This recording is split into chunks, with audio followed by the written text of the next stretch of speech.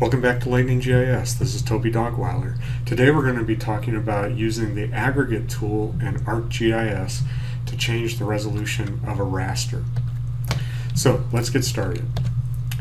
So what is a raster? Well, there's a whole other Lightning GIS video that I'll put a link to in the show notes that gives you an overview of a raster, what they are, when to use them, what their benefits are. But for this um, video, we're just going to suffice to say that a raster is any data set that's continuous in both the x and y dimension and divided into individual cells where each cell has a value. In a photograph, the value would be um, an RGB value related to a color. In a DEM, a digital elevation model, the value would be the elevation of that portion of the landscape that's represented by the cell in the raster. So then, because rasters have cells, the cells have a size. And that size is usually the same in height and width.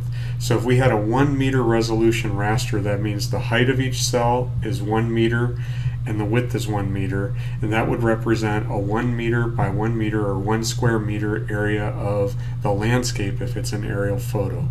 So that means each pixel, each cell in the raster is a one meter by one meter pixel um, out in the real world. Um, higher resolution rasters have a lot more cells. More cells means more data, which means larger files. But because they're higher resolution, you can also zoom in without losing, um, zoom in to see greater detail. A lower resolution raster has fewer cells. Each cell is going to be bigger in terms of its height and width dimension. That means that it takes up less space, it's a little faster on your computer, but when you zoom in, you're going to lose detail because the detail is just not there. All right, so what the aggregate tool does for you is it allows you to increase the size of raster cells. So you see here on the left, we have a series of four cells. Each cell would have a height and a width. Let's say that this is a two meter resolution um, raster, which means that each of these cells is two meters by two meters, two meters wide by two meters high.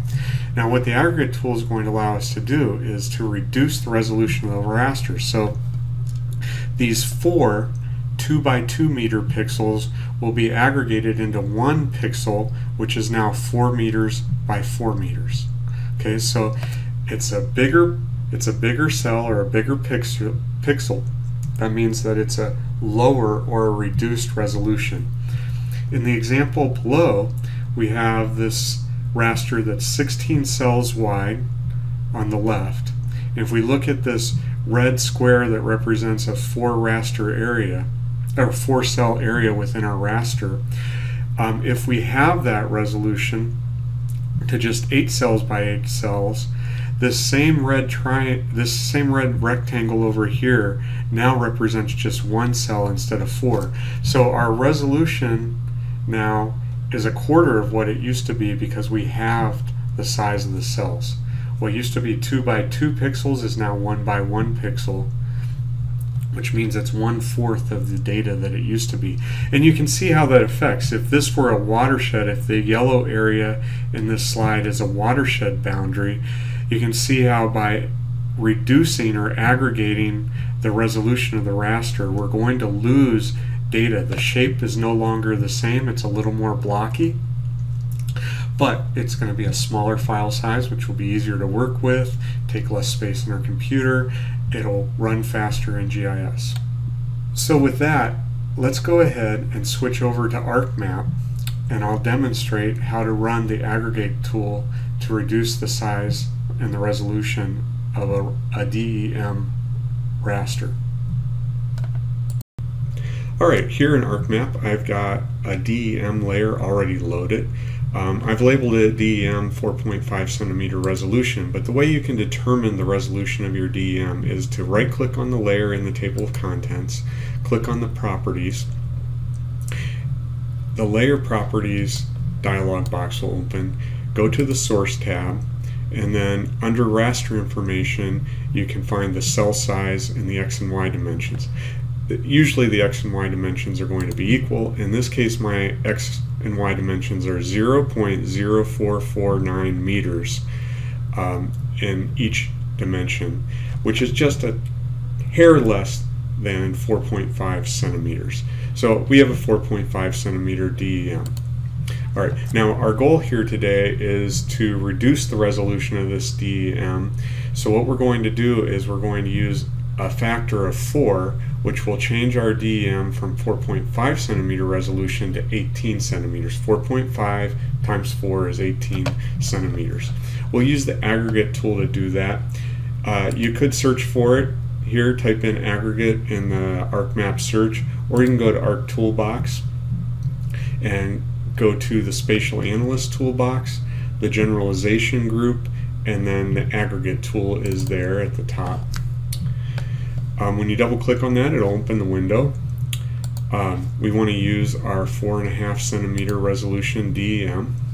Now, our changed, we're not going to change the original DEM, so we have to designate where we're going to save the new DEM that's going to be created. So I have a geodatabase here. I'm going to put it in there, and we'll just call it DEM 18 centimeter resolution. Because I'm in the D, in the in the geodatabase I can't use spaces in the file name. So I've I've got something similar to the format over here that I'm using over here in the table of contents. So I'll save that.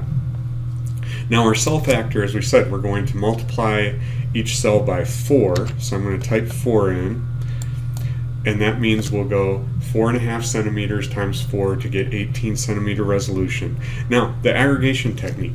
Which technique you're going to use will depend a little bit on what type of data set you're using. Since we have a DEM here, what we want to do is for all the cells in the four and a half centimeter that are included in the new 18 centimeter cell, we don't want to sum those. That would add all the cells. We just want to get the the average or the mean value of all of those finer resolution DEM cells to come up with the average that will be used as a representation in the 18 centimeter cell. Now, other types of rasters, depending on what the type of data set is, you'll have to use your common sense to determine which technique to use.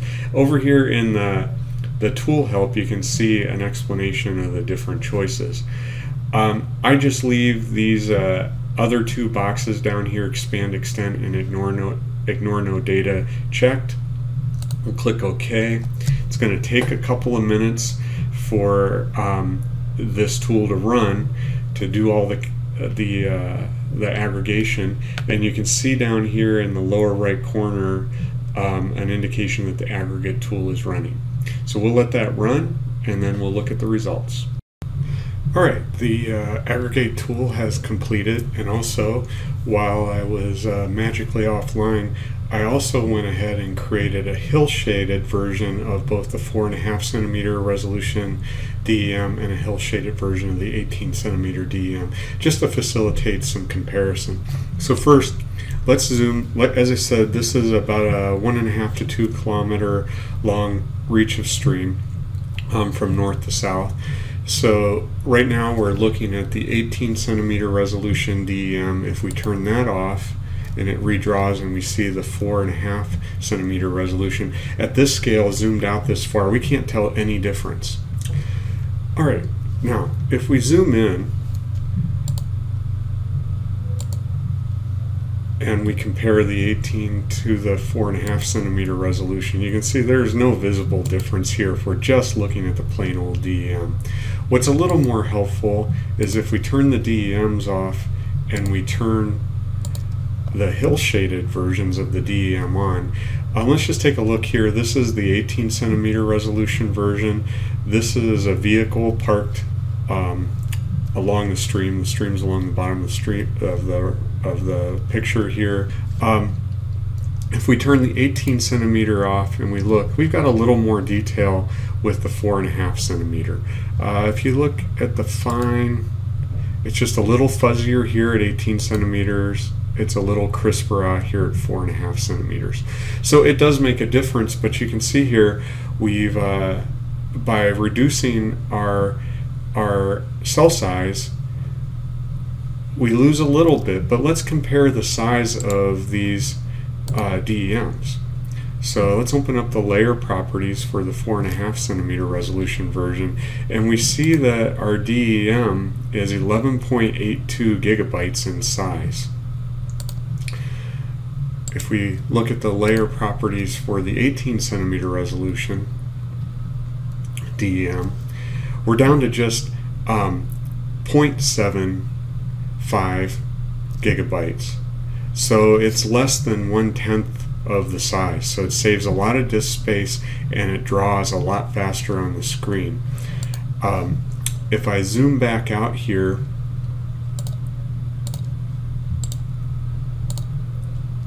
I won't change the time on this. Right now it's drawing the 18 centimeter hillshade. You can see it just took a few seconds. If I turn that off and I draw the four and a half centimeter uh, hillshade, um, it's been a few seconds and ArcMap's still thinking. It hasn't even started to draw on the screen. And uh, because this file is so much bigger, my processor, I can hear my processor fan down here running really fast. It's sped up. Um, the computer is really working hard. And now it's just started to draw a little bit of this, and you can see it's going to take probably another 40, 50, 60 seconds to draw that. I won't make you wait for that. I think uh, that's a good spot to end. I hope this helps you with the aggregate tool. Thank you.